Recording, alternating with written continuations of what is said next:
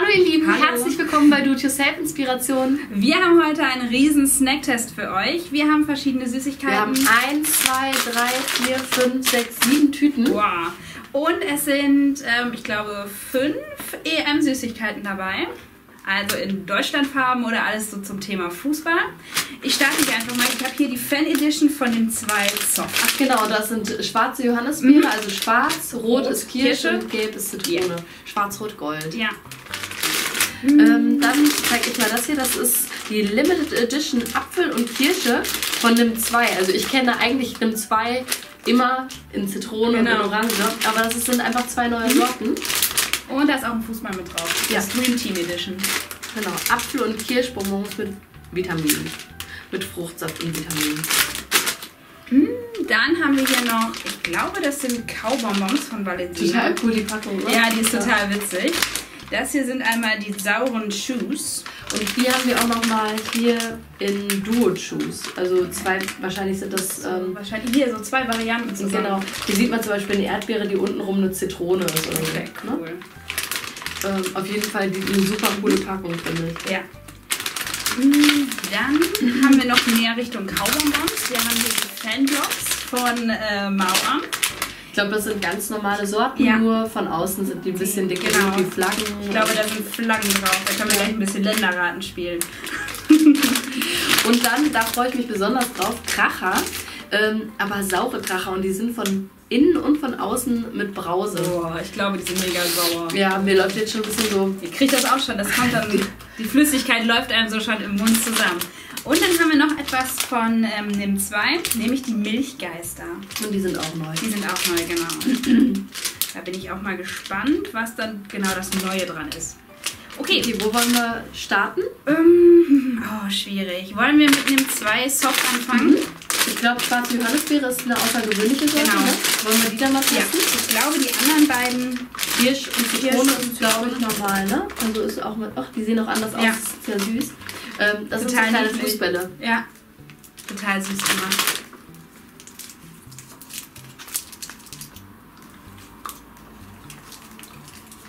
Uh, mhm, schmeckt ganz stark nach schwarzer Johannisbeere, ne? Mhm. War auch ziemlich herb. Säuerlich auch, ne? Mhm. Mhm. Mhm. Aber ganz klassisch wie die nimmt zwei Soft, man Mhm. beißt so drauf und dann kommt da diese Flüssigkeit raus. Mhm. War nicht meine Lieblingssorte. Mhm. Sind ganz schön sauer. Ja. Ja, und dieses klassische Herbe von der schwarzen Johannisbeere. Aber auf jeden Fall sehr, sehr niedlich gemacht. Ich zeige nochmal so eine ganze Handvoll. Dekoration Ja, dann auch, ne? kann ich mir sehr, sehr gut so auf Mhm. dem Tisch vorstellen beim Fußball gucken. Sehr cool. Okay, das war Nummer eins. Ähm, was mit Fußball, was ohne Fußball? Ich kau immer noch. Ach so, aber du du kannst, noch. nee, du kannst ja gerne mal was aussuchen. Ich bin so gefräßig. Ich kann nicht so schnell. Mhm. Vielleicht? okay. Ach, hier unten macht man die auf. Hier steht auf Kaubonbons mit Fruchtsaft und Vitamin C. Mhm.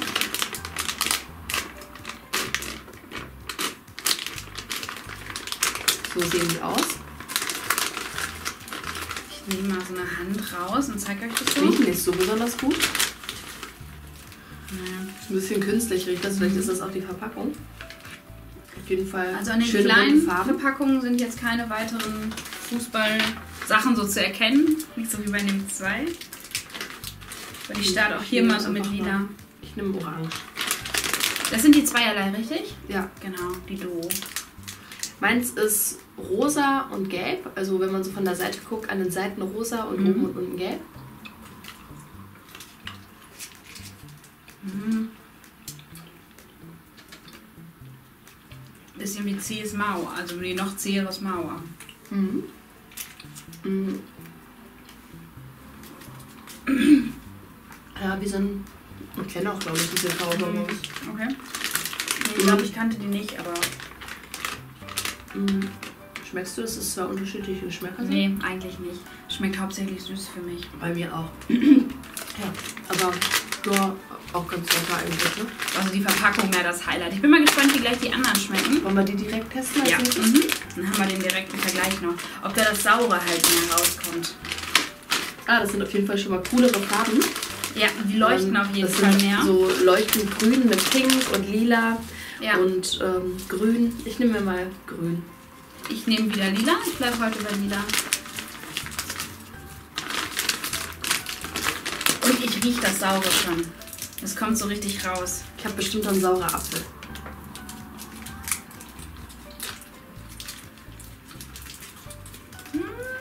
Mhm, lecker aber. Hm?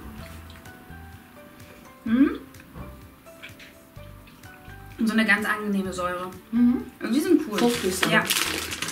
Also hier sind die Geschmacksrichtungen dabei. Apfel, Cassis, Grapefruit und Himbeere. Ich denke mal, ich hatte wieder Cassis, also schwarze Johannisbeere. Ich glaube, ich hatte Apfel. Mm, ja, grün, denke ich. Oh, das habe ich noch verschluckt. Sind sauer, aber Ja, also eine wollte ich jetzt schöne- auch nicht zehn jetzt- Stück von essen, aber nee. Ähm, aber eine gute Säure. mhm. Okay. Wenn wir schon mal beim Was Sauren richtig sind, Saures? wollen wir mal Dann dann? machen wir jetzt mal richtig.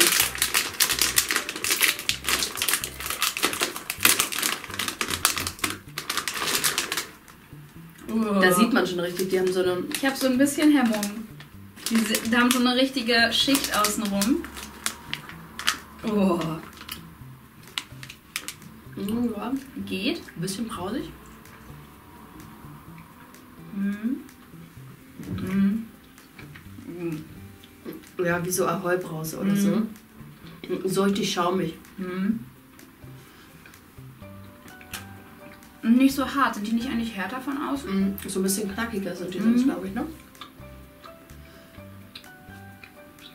Hier ist jetzt eher so eine feine Schicht drumrum, als wirklich so eine harte Hülle. Mhm. Ich hätte sie mir saurer Ich vorgestellt. mir auch. Mhm. Wir sind aber, also ich mag eigentlich Kacha total gerne. Ja. Mhm. Ich würde mich jetzt aber immer für die klassischen entscheiden. ich nicht für diese, also sie sind mir so ein bisschen zu schaumig. Ja, sie sind mehr so brausig als sauer. Aber schlecht sind sie nicht. Die sind ganz cool. Okay, was haben wir denn jetzt noch? Wir haben noch Milchgeister, Penblocks oder das Green Tea. Aber die muss man ja lutschen. Ja, ich glaub, die glaub, das wollen wir euch nicht antun jetzt. äh, Bis wir damit fertig sind. Ich glaube, die lassen wir vor Schluss. ja. Ähm, dann lass uns mal mit den Milchgeistern weitermachen. Die haben jetzt nichts mit Fußball zu tun. Uh. Ganz Ähm, interessanter auf jeden Fall schon wie so, ähm, ich habe auch, ähm, ähm, wie heißen die, Yogi, Joghurt. Yogi-Bussis. Ja, sowas in der Art. Das hat wieder was mit Fußball zu tun. Nichts. vergessen. Wegen Yogi. Achso, Also auf jeden Fall sind das hier so Geister. Ähm, der Körper ist weiß und die Rückseite ist bunt. Bei mir orange. Ja, bei mir grün. Hier gibt es das Ganze auch nochmal in rot. Und hier ist ein Loch drin. Mhm. Ja, schmecken gut. Ja. Die sind ganz weich. Mm, Und oben diese Schicht. Mhm. mm, Ein bisschen wie, wie, Das ist ein bisschen wie so ein Joghurtgamm, Mhm. aber nicht so mm, säuerlich, sondern Ja. wirklich wie Milch. wie bisschen, milchig, ja. Mhm. Ne? Mm, Die sind Ganz lecker. mild schmecken Ja. die, ne? Also nachdem wir jetzt was Saures gegessen Ja. haben. Mm, Aber grundsätzlich sind die Schön, ganz lecker, ne? Ja. Auf der Packung sind eigentlich die Augen auch noch ein bisschen bunt. Das ist jetzt hier. Ja, Nicht stimmt. so. Die Augen sind einfach Aber schön, ne? ja. Sehen niedlich aus, schmecken lustig, schmecken gut. Ja, ganz Okay, Penblocks. Da ist auf jeden Fall die Packung schon mal richtig äh, im Fußballstil gestaltet. Mhm. Sieht aus wie ein Spielfeld. Jetzt schauen wir mal. Vielleicht können wir uns daraus ein Stadion bauen. Okay.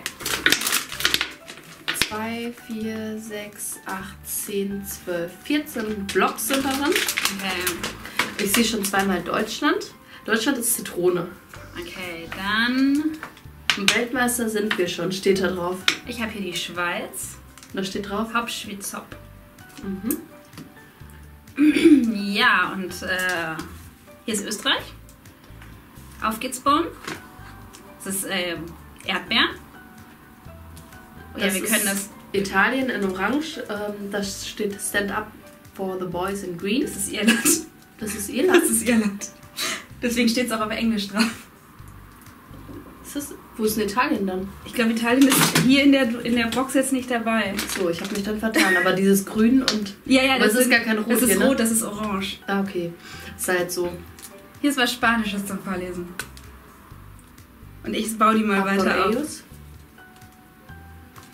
Ich baue mal so ein bisschen Sachen zusammen. Steht das da jeweils in der Sprache? Ja, das steht jeweils in der Sprache da drauf, deswegen hatte ich mich Ah, okay. Hier ist gewundert. zum Beispiel was, das kann ich gar nicht lesen. Das ist wahrscheinlich dann. Äh, wo ist das? Äh, Auf jeden Fall ist es eine russische Schrift oder so. ja, ich glaube, das ist die Ukraine. Ähm, ich habe hier nochmal, genau, das ist Österreich. Tschechien vielleicht dann? Hier ist nochmal Österreich. So. Ja, das ist, glaube ich, Tschechien. Hier ist das nochmal. Also die Länder wiederholen sich so ein bisschen. Das haben wir sogar dreimal. Kann man dreimal übereinander bauen. Ähm, Das ist Cola und Erdbeer aber, ne? Also ah, da gibt es verschiedene Geschmäcker dann auch. Heya Romania.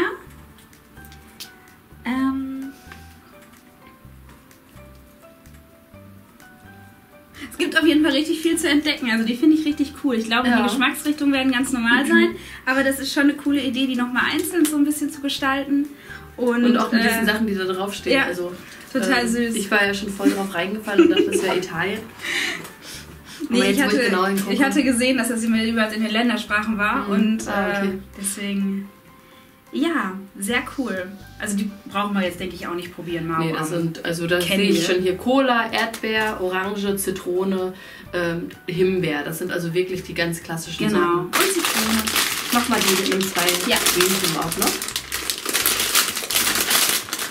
Oh, die sieht auch, uh, auch aus wie ähm, Fußball so ein bisschen. Also mit ähm, dem Fußball ähm, Fußballfähnchen. Muster an der Seite. Fußballfähnchen an den Seiten. Und sie sind grün und Rot. rot. Ich nehme mir mal ein rotes. Ich nehme mir ein grünes, passend zum Fußballrasen. Mhm. Ja, schmeckt nach Kirsch. Schmecken ein bisschen wie Granini-Bonbons, finde ich. Mhm. Schmecken ähm, ein bisschen, ich habe hier Apfel, das ist ein bisschen sauer, so ein bisschen wie grüner Apfel, aber eigentlich total lecker. So, jetzt müssen wir uns entscheiden, was ist so dein Highlight gewesen. Mhm. Also die Nimm 2 finde ich super, weil ich mag ganz gerne so Ja. Mhm. Und äh, die gab es ja halt immer in Zitrone und Orange Ja. und jetzt halt in so anderen Sorten. Das finde ich besonders spannend. Mhm. Dann ähm, finde ich diese Säure, äh, Säurerin ähm, von hm, Saurerin von Valensina ganz gut. Die fand ich auch cool. Ähm, ich finde das Design bei diesen beiden sehr cool. Ja, genau. Das Mhm. Design ist das da sieht richtig cool aus. Aber hier ist das Design natürlich, Natürlich auch, cool, ne? das ist auch, das sind so richtig coole Fußballideen. Also sehr, sehr cool. Was suchst du dir vom Geschmack aus? Mm, Ich glaube vom Geschmack her, mir gefällt das Apfelbonbon sehr gut gerade. Apfel habe ich noch nicht probiert, aber Kirsche ist Ja, auch super gut. also die sind richtig cool. Und ja, die sauren fand ich auch gut. Und hier, dieses war mir einfach zu, zu, ähm, zu stark, schwarze Johannisbeere. Mhm. aber die Milchgeister waren auch nicht schlecht, ne? Mir, die waren auch nicht schlecht, aber Eigentlich alles gut. eigentlich alles gut, alles cool. Hat uns alles gut gefallen und wir hoffen natürlich, ihr hattet auch Spaß bei diesem großen Test. So ein bisschen Fußball und so ein bisschen ähm, noch ein bisschen was anderes Saures und Milchiges. Wenn es euch gefallen hat, lasst uns einen Daumen nach oben da, da freuen wir uns natürlich immer. Wenn ihr sonst noch Fragen, Anregungen oder Wünsche habt oder wenn ihr noch was sehr Cooles gefunden habt, was wir auch mal testen können, schreibt es uns einfach unten drunter in die Kommentare. Oh ja, und sonst schaut natürlich auch bei unseren anderen Snacktests und bei unseren anderen Do-It-Yourself-Videos vorbei. Und bis zum nächsten Mal bei Do-It-Yourself-Inspiration. Tschüss. Tschüss!